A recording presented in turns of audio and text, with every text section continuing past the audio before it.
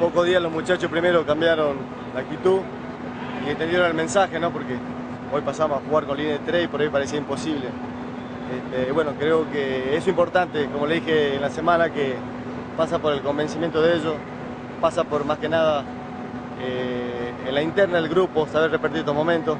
Son momentos, yo creo que hoy nos vamos con la satisfacción de, de haber por lo menos entendido la idea, ¿no? La idea que era fundamental para mí. Entonces creo que yo por ese lado me voy tranquilo. ¿Te vas conforme por eso? Digo? Sí, me voy tranquilo como te dije por la idea de, del juego que uno quería.